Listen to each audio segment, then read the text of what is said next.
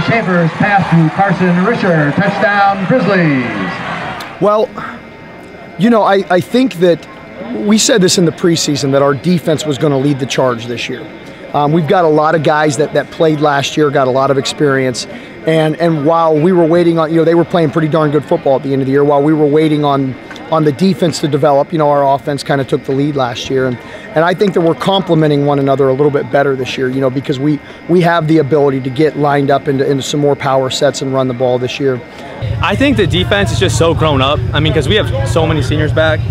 We lost our D line, obviously, who's a big component of our team, but um, I mean, our defense just grown up, and we had a couple offensive kids. Like we got Brock back, beast. Donald Parr stepped up. We knew he was going to be a freak. You saw it tonight. And then we got my buddy Carson Risher. I mean, he's ridiculous. Like he, he looks like Mitch and Christian last year. It's just it's awesome. I love him. Carson, you know, he, he went off against Wooster. He's a fantastic wide receiver. You know, he rivals that of Mitch Blackburn and the Christian Slay last year. He's going to do great things for us. My O line, they were outstanding, outstanding. You know, whenever whenever Brock needed five yards, he would get five yards and then some from them. Uh, whenever I needed five yards, I could get it. You know, um, so they just controlled they just controlled the line of scrimmage the whole game, and I feel like that was the whole reason why we won and our defense.